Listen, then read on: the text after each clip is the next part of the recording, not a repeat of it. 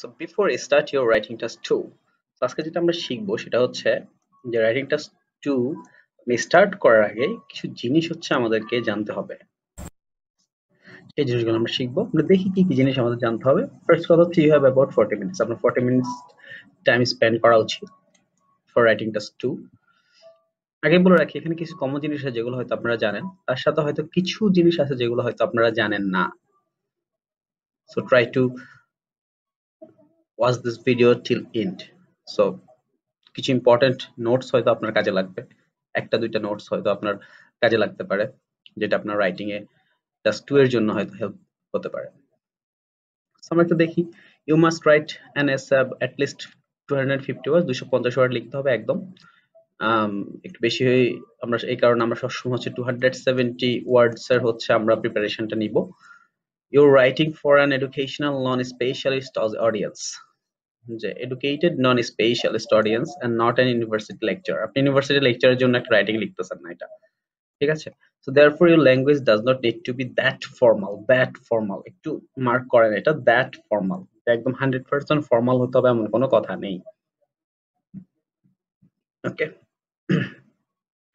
you are in most cases expected to give your opinion যে অনেক ক্ষেত্রে হচ্ছে আপনার ওপিনিয়ন দিতে হয়। অন্যান্য ভিডিওগুলোতে আমরা দেখাবো যে কোন কোন ক্ষেত্রে আপনি ওপিনিয়ন দিতে হবে, কোন কোন ক্ষেত্রে আপনি ওপিনিয়ন দিবেন না। সেটা।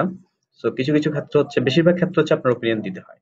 You may also have to include your life experience and some relevant examples কিছু কিছু ক্ষেত্রে হচ্ছে এক্সাম্পল দিবেন এবং আপনার লাইফ এক্সপিরিয়েন্সও অ্যাড করতে পারেন। নর্মালি অ্যাড করতে পারেন, আবার অ্যাজ অ্যান এক্সাম্পলও অ্যাড করতে পারেন। ঠিক আছে? Points to apply in writing task two writing কি কি অ্যাপ্লাই করতে হবে? সেটা the topics of the question will be general interest. General interest এর উপরে সাধারণত আমাদের টপিকগুলো হয়, and no specialist knowledge is required. আপনার কোনো স্পেশালিস্ট নলেজ লাগবে যেমন হচ্ছে যে আপনাকে যদি এলিয়েন নিয়ে কোনো কোশ্চেন আছে, আপনার তো এলিয়েন নিয়ে হতে স্পেস নিয়ে আপনার কোনো পড়ালেখা নেই না, আপনার পড়ালেখা লাগবে না। ঠিক আছে? আপনাকে স্পেশালিস্ট হতে হবে না। জেনারেল ইন্টারেস্টের উপর আপনার কোশ্চেনগুলো আসবে। For an example topics can include travel accommodation current affairs আপনাকে ট্রাভেল নিয়ে লেখার জন্য আপনাকে ট্রাভেল এজেন্সিতে জব করতে হবে না বা আপনি ট্রাভেল নিয়ে আপনাকে অনেক কিছু জানতে হবে। Current affairs shops service health and welfare health and safety recreation social and physical environment আমরা একটা ট্রাই করব, আমরা একটা ভিডিও করার জন্য যেটা হচ্ছে যে যে টপিকগুলোর উপরে আসবে, সেই টপিকগুলো হচ্ছে ইনক্লুড করার জন্য। You must write in complete sentence notes are not acceptable ঠিক আছে? আপনি একটা কমপ্লিট সেন্টেন্স লিখবেন, কোনো নোটস আপনি দিতে পারবেন না, যে নোটস আপনি, আমরা অনেক সময় অ্যাড করি যে নোটস ঠিক আছে? নোটস না। রিটার্স টুতে কোনো নোটস অ্যাড করা যাবে না। No next do not copy whole sentence or long phrases from the question আপনি কোশ্চেন থেকে পুরো সেন্টেন্স কখনোই কপি করবেন না। কখনোই কপি করবেন না। কোশ্চেন থেকে যদি আপনি কিছু লিখতে সেটা প্যারাফ্রেজ আকারে লিখবেন। ওয়ার্ডগুলো চেঞ্জ করে। দিয়ে এক্সামিনার উইল রিকগনাইজ দেম আপনি যদি কোশ্চেনটা কপি করেন এক্সামিনার রিকগনাইজ করবেন they will not count towards the minimum number of words you must write আপনি যদি কোশ্চেনের ওয়ার্ডগুলো যদি লিখেন, যদি একদম কপি করেন, তাহলে হচ্ছে যে এক্সামিনার হচ্ছে ওই ওয়ার্ডগুলো কাউন্ট করে না। এবং এটা রাইটিং এর ক্ষেত্রে আপনার নেগেটিভ ইম্প্যাক্ট ফেলে you write you may write on the question sheet if you're if for example you want to underline keywords or to write notes আপনি কোশ্চেন শিটে হচ্ছে যে কোনো কিছু লিখতে পারবেন নোটস নিতে পারবেন আন্ডারলাইন করতে পারবেন যে কোনো কিছু করতে পারবেন কোশ্চেন আপনি the examiner who marks your writing will not see the question sheet যে আপনার রাইটিংটা চেক করবে যে এক্সামিনার সে হচ্ছে যে আপনার কোশ্চেন শিটটা দেখবে না ঠিক আছে আপনি কোশ্চেন আপনি যে কোনো কিছুই করতে পারবেন few key things to remember, কিছু few key things আছে যেগুলো আপনার মনে রাখা উচিত, সেটা হচ্ছে the question and instruction carefully, no matter how many times you need to see them. আপনার কোশ্চেনটা একটু কেয়ারফুলি পড়তে হবে ইনস্ট্রাকশন কি দিচ্ছে সেটাও দেখতে হবে, একটু টাইম যদি সেখানে বেশি লাগে তারপরেও দেখতে হবে নতুবা আপনি ভুল করবেন। Analyse the topic and the task আপনার যখন কোশ্চেনটা আসবে, তখন টপিকটা আপনি অ্যানালাইজ করতে হবে টপিকটা আপনি অ্যানালাইজ করতে হবে। টপিকটা যদি আপনি অ্যানালাইজ না করেন, তাহলে পারফেক্ট লিখতে পারবেন না, ঠিক আছে? তারপর হচ্ছে brainstorm the ideas to be used in your writing আমরা একটা ভিডিও রয়েছে আপনার এটার উপরে, যে আপনি ব্রেনস্টর্ম করবেন আইডিয়াসগুলো।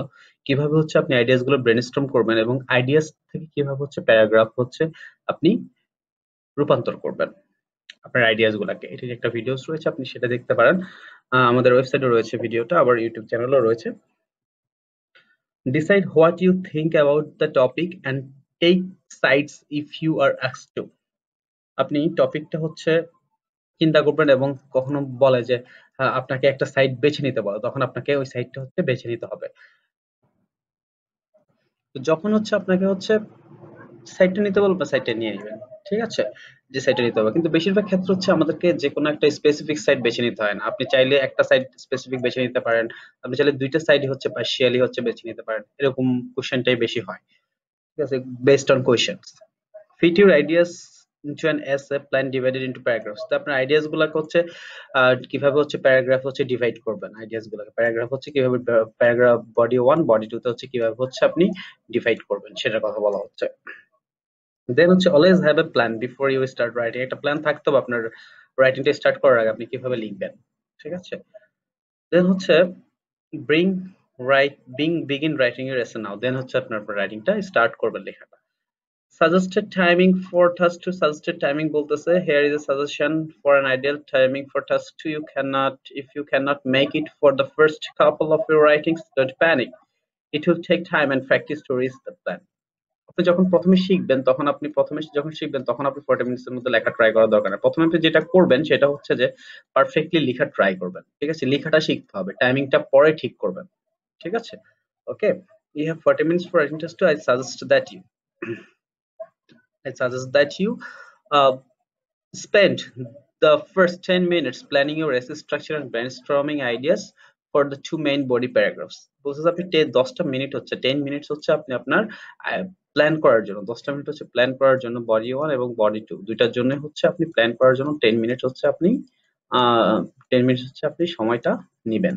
তাহলে হচ্ছে যে আপনি রাইটিংটা লিখতে বেশি সময় লাগবে। না দেখেন 250 ওয়ার্ডস লিখতে কিন্তু আমাদের অনেক বেশি সময়ের প্রয়োজন হয় না। ঠিক আছে? আমরা যদি একটা ওয়ার্ড যদি আমাদের ফাইভ সেকেন্ড করে টাইম লাগে, যদি আমরা বলি যে একটা ওয়ার্ড যদি ফাইভ সেকেন্ড করে টাইম লাগে, আমরা যদি টু হান্ড্রেড ফিফটি ওয়ার্ড লিখি, সেটা হচ্ছে not more than I don't know not more than twenty minutes আমাদের তো প্রয়োজন হয় না লেখার জন্য। কিন্তু আমরা যেটা মন, যেটা করি সেটা হচ্ছে আমরা একটা সেন্টেন্স লিখে তারপরে থেমে যাই।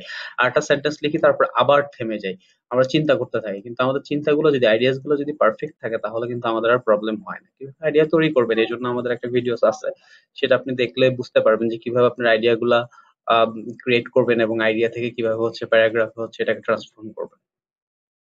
In 5 minutes writing your two sentence introduction যে 5 5 মিনিট সময় নিতে পারেন আপনি ইন্ট্রোডাকশন লেখার জন্য two sentence introduction spend 20 minutes on the main body যে 10 minute for each body paragraph 10 minute করে ইজ বডি প্যারাগ্রাফ দেখলে 10 মিনিটস হচ্ছে আপনার একটা বডি প্যারাগ্রাফ প্রয়োজন হয়। তারপর হচ্ছে spend 5 minutes for your conclusion and check everything ঠিক আছে? তাহলে এভাবে হচ্ছে যে আপনার এই যে 10 মিনিটস হচ্ছে আপনার আইডিয়াস ক্রিয়েট করার জন্য 10 মিনিটস হচ্ছে ইন্ট্রোডাকশন এবং কনক্লুশনের জন্য বাকি 20 মিনিটস হচ্ছে আপনার বডির জন্য। পারফেক্ট 40 মিনিটস প্ল্যান ওকে একটা নোট রয়েছে there are suggestions no rules ঠিক আছে? একটা সাজেশনস রয়েছে।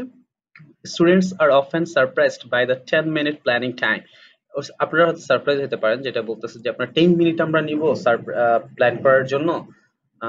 তাহলে আমরা কীভাবে কি করব? আমরা তো লিখতে পারব না। না, লিখতে পারবেন, ঠিক লিখতে পারবেন। ঠিক লিখতে পারবেন যদি প্রপার প্ল্যান থাকে। যদি আপনার প্রপার একটা প্ল্যান থাকে, তাহলে হচ্ছে যে আপনার সেন্টেন্সের মাঝখানে গিয়ে আপনার আটকাইতে হবে না। আপনার নতুন করে আইডিয়া চিন্তা করতে হবে না, আমি আপনি কি লিখবেন। ঠিক আছে? A good plan helps you to write your essay much faster than you think যে আপনি চিন্তা করতে পারবেন, যদি একটা প্রপার প্ল্যান থাকে। এই অভ্যাসটা যদি আপনি করে ফেলতে পারেন প্রপার প্ল্যান করার, তাহলে হচ্ছে লাগবে না। ঠিক আছে? তাহলে এই জিনিসগুলো একটু ফলো করেন। এই জিনিসগুলো ফলো করলে হোপফুলি আপনি হচ্ছে আপনার ইন্ডাস্ট টু হচ্ছে স্টার্ট করার আগে হচ্ছে আপনাকে হেল্প করবে।